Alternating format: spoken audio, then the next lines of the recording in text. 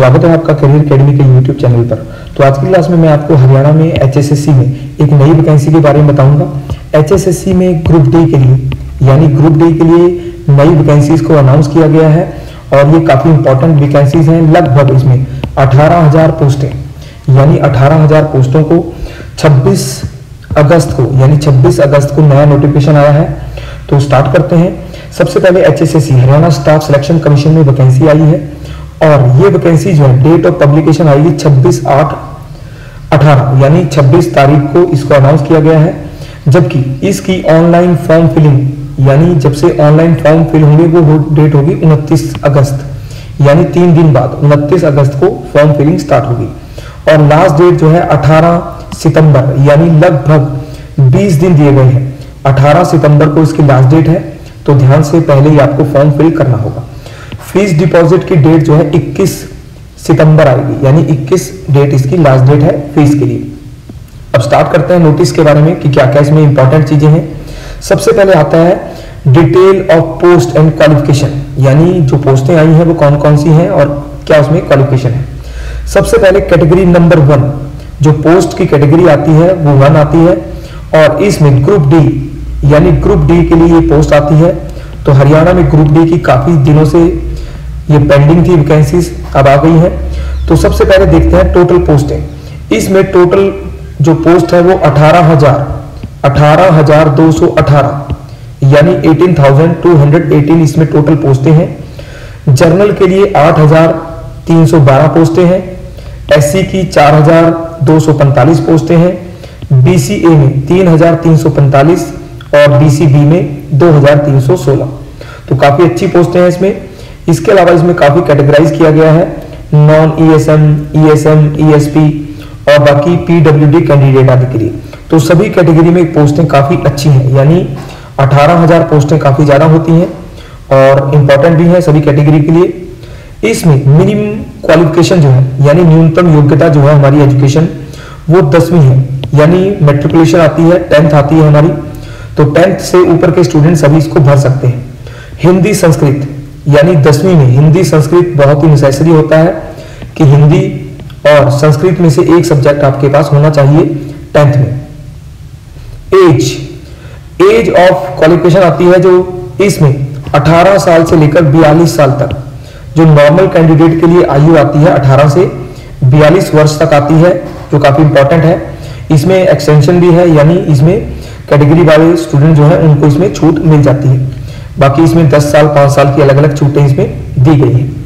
तो फिर आता है पे स्केल।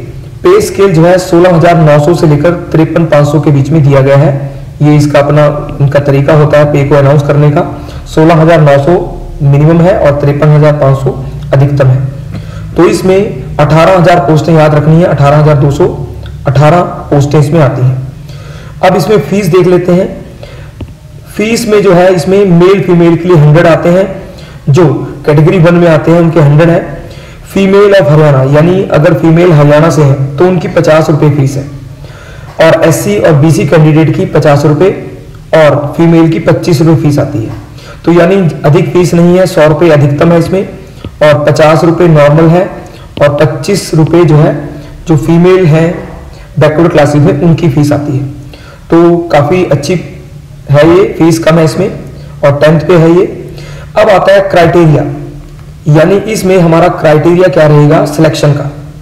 तो सरकार ने बताया है कि ग्रुप डी के लिए जो हमारी पोस्टें आई हैं, इसमें 100 मार्क्स टोटल 100 मार्क्स का सारा जो एग्ज़ाम होगा या टोटल सिस्टम होगा 100 मार्क्स का तो 100 में से अधिकतम स्कोर करने होंगे हमें। इसमें रिटर्न मार्क्स जो है रिटर्न मार्क्स 90 का दे रखा है। यानी 90 नंबर हमारे पेपर के होंगे एग्ज़ाम के होंगे। तो 10 नंबर जो है टेन मार्क्स इन्होंने दिए हैं सोशियो इकोनॉमिक क्राइटेरिया और एक्सपीरियंस को। यानी दस नंबर में से आपको अधिकतम लेने हैं, जो आपके एक्सपीरियंस के हो सकते हैं, या आपके सोशल इकोनॉमिकल बैकग्राउंड के हो सकते हैं। नब्बे नंबर का आपका पेपर आएगा और दस नंबर का आपका आएगा इसमें सोशियो इकोनॉमिक बैकग्राउंड और एक्सपीरियंस एक्सपीरियंस केस में आठ नंबर है, यानी अलग से देखें, अगर एक्सपीरियंस केस में आठ नंबर आते हैं, और जो दस नंबर में से दिया गया है, ये सोशियो इकोनॉमिक कंडीशन है। अगर कोई फैमिली में आर्थिक रूप से वीक है या कमज़ोर स्टूडेंट है तो उनके लिए इसमें दस में से दिए गए हैं। तो पाँच मार्क्स इसमें अलग से अनाउंस कर रखे हैं, जिनके घर परिवार में या जो भी उनके पर्सन है, उनके लिए कोई रेगुलर एम्प्लॉय नहीं है। अगर वो सरकारी नौकरी में नहीं है तो उनको पाँच नंबर इसमें मिलेंगे। अगर कोई लड़का जो है या लड़की, जिसके पिता की डेथ हो चुकी है, उसके लिए भी पाँच मार्क्स यहाँ अनाउंस किए गए हैं। और पाँच मार्क्स उन स्टूडेंट के लिए हैं जो काफ़ी वीक कैटेगरी से आते हैं, जो हरियाणा में नोमैडिक ट्राइब है, उनके लिए पाँच नंबर दिए गए हैं। अब देख लेते हैं इसमें एग्ज़ाम क्या क्या है। एग्ज़ाम आपको पता है, सौ क्वेश्चन आएँगे हंड्रेड क्वेश्चन आएँगे, जिसमें से पचहत्तर प्रतिशत, यानी 75 परसेंट वेटेज जो है जनरल अवेयरनेस जिसे जीके कहते हैं reasoning mathematics science English Hindi इसके लिए होगा। यानी पिछहत्तर क्वेश्चन जो है 75 क्वेश्चन हमारे जो है, जब जीके के रीजनिंग के मैथ इंग्लिश हिंदी आदि के आएँगे, ये एचएसएससी के नॉर्मल पेपर जैसा है। पहले भी ऐसे ही होता था कि जीके रीजनिंग मैथ आदि के 75 प्रतिशत क्वेश्चन आते थे। 25 प्रतिशत क्वेश्चन जो है, ये पहले की तरह है कि 25 प्रतिशत क्वेश्चन जो है, ये हरियाणा की जीके के आते हैं। यानी 25 परसेंट जो क्वेश्चन है वो हरियाणा की हिस्ट्री हरियाणा का current affair literature geography civics हो गया इन्वायरमेंट हो गया कल्चर हो गया। तो 25 प्रतिशत जो है, ये हरियाणा की जीके के क्वेश्चन है और 75 प्रतिशत जो है जनरल पेपर आएगा। तो काफ़ी इंपॉर्टेंट रहेगा 100 क्वेश्चन आपको देखने हैं 100 में से अधिक से अधिक स्कोर करना है और 100 क्वेश्चन के आपके एक क्वेश्चन की वेटेज जो है 0.9 होगी। यानी एक क्वेश्चन 0.9 मार्क्स का आपका होगा। तो काफ़ी इंपॉर्टेंट है। बाकी आप इस इसमें एक्सपीरियंस को भी देख सकते हैं। एक एक्सपीरियंस के आठ मार्क्स आठ आपके मिनिमम या सॉरी मैक्सिमम है। दस में से आपको अधिकतम एक्सपीरियंस के आठ मिलेंगे। और एक साल का 0.5 यानी एक साल अगर एक्सपीरियंस है तो आपको 0.5 मार्क्स उसके मिलेंगे। 16 साल का अगर एक्सपीरियंस रहा तो आपको 8 मार्क्स इसमें यहाँ पर मिलेंगे। तो ये आप ध्यान से इसको नोटिफिकेशन को पढ़ें, क्योंकि ये आपके लिए ज़रूरी है। इसको फिर बाकी ऑनलाइन फॉर्म भरने के लिए आपको जो भी मिनिमम डॉक्यूमेंट अपलोड करने हैं, साथ के साथ वो देखें। ऑनलाइन स्क्रूटनी होगी डॉक्यूमेंट की कंप्यूटर बेस्ड होगी तो ये ध्यान रखें ओरिजिनल डॉक्यूमेंट को प्रॉपर रूप से स्कैन करें और सही तरीके से उसको ऐड करें, कोई गलती ना रहे। बाकी रिजेक्शन के इन्होंने कारण भी देख रखे हैं कि कहाँ कहाँ से आपका फॉर्म रिजेक्ट हो सकता है, ये भी ध्यान से पढ़ें। तो आपको ये फॉर्म जो है वैकेंसी ध्यान से पढ़नी है और इसमें डेट ऑफ़ अप्लाई जो है, वह उनतीस तारीख है और लास्ट डेट जो है वो आएगी आपकी 18 सितंबर। तो 20 दिन के अंदर आपको फॉर्म भरना है।